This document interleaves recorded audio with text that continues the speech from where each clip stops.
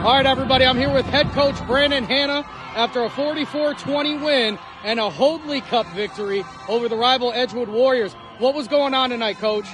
Um, our guys up front stepped it up big time. Uh, we were able to control the trenches from the beginning. You know, we, we, we dropped the ball on the carpet a few times, and I, I feel like we, we should have been able to finish a little better.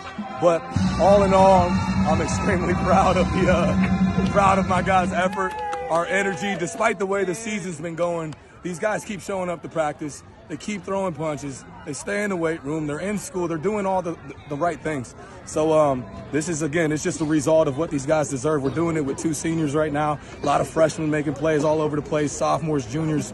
Uh, I'm just very proud of the, the team as a whole, the staff, putting the plan together, and uh, I'm excited, man. I'm excited about what the what the future looks like. You know, you guys have had a lot of changes this year, including a freshman coming in to take some snaps for this team, yeah. as well as some other younger guys like Michael Riffner and uh, Riffle and yeah. Agnew, and these other guys coming out here and making big plays. What is the next man up thought process in Jefferson? Man, you know what? It, that, that's it's the definition of family, right? So we we wear it, we say it, we break down on it.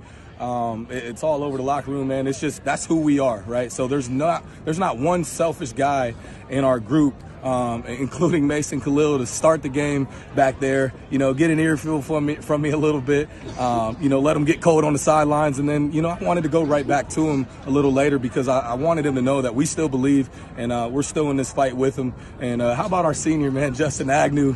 You know, calling play the, the, same play over and over, and him just punching it in. I don't know where he got that spin move from, but hopefully one of these freshies were paying attention and can pull that out next year. Well, he's a video guy, so he must have seen it on Madden. Good job tonight. Congratulations on Let's the go. win. Let's go, baby. Let's